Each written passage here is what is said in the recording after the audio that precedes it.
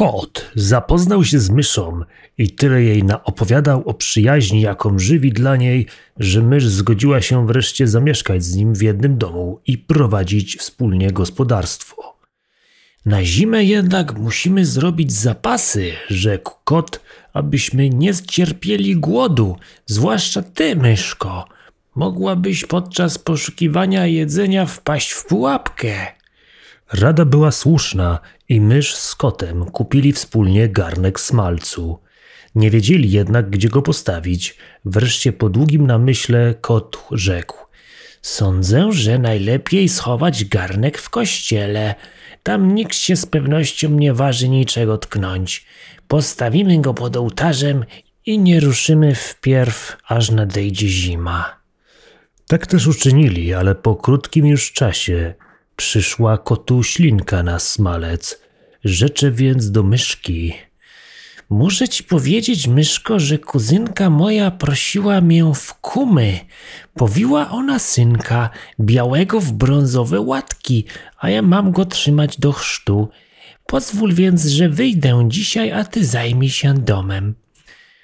Dobrze, dobrze, rzekła myszka. Idź w imię Boże, a jeśli dostaniesz coś dobrego do jedzenia, to pomyśl o mnie. Chętnie wypiłabym też kropelkę czerwonego wina. Oczywiście wszystko to było zmyślone. Kot nie miał wcale kuzynki i wcale nie był proszony w kumy. Poszedł wprost do kościoła, zakradł się do garnka ze smalcem i począł go lizać, aż zlizał cały tłuszczyk z wierzchu. Potem udał się na spacer po dachach, obejrzał sobie okolicę, wreszcie wyciągnął się na słońcu, oblizując się na myśl o smalczyku. Dopiero późnym wieczorem powrócił do domu. Jesteś wreszcie, rzekła mysz. Wesoło pewnie spędziłeś dzień. Owszem, odparł kot. A jakież imię dano dziecku? zapytała mysz.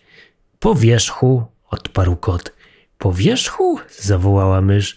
To bardzo dziwne imię. Czy powtarza się ono w twojej rodzinie? Wcale nie gorsze, odparł kot, niż złodziejskie imiona twoich chrześniaków. Wkrótce potem kota wzięła znów chętka, aby zakosztować smalcu. Rzekł więc do myszy.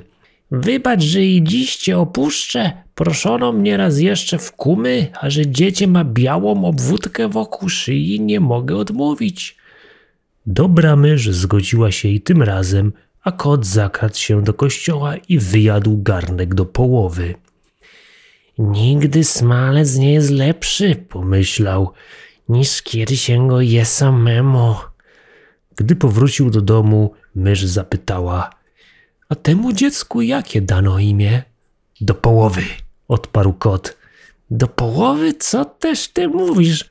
Póki żyję, nie słyszałem takiego imienia, zawołała mysz. Założę się, że nie ma go w kalendarzu. Ale kot wkrótce począł znowu marzyć o smalczyku. Do trzech razy sztuka, rzekł do myszy. Znowu proszony jestem w kumy, a że dziecko jest celutkie czarne i tylko łapki ma białe, co trafia się niezwykle rzadko, jakżeby mógł odmówić. Po wierzchu do połowy te dziwne imiona nie dają mi spokoju, odparła mysz. To dlatego, że po całych dniach siedzisz w domu i w tej swojej burej kapocie i z tym długim warkoczem lęgną ci się w głowie takie cudactwa, rzekł kot. Powinnaś od czasu do czasu wychodzić na spacer. Kiedy kot wyszedł, myszka zakrzątnęła się po mieszkaniu i doprowadziła wszystko do porządku. Łakomy kot zaś rzekł do siebie – Trudno mieć spokój, póki jeszcze coś jest w garnku i zjadł wszystko aż do dna. Dopiero późno w nocy, tłusty i najedzony, powrócił do domu.